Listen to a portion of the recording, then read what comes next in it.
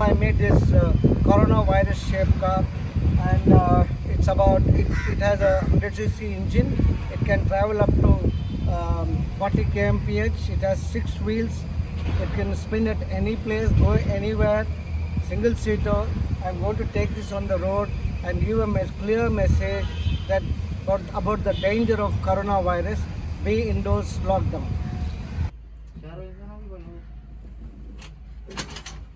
Phone तो मांगना तुम भाई को तुम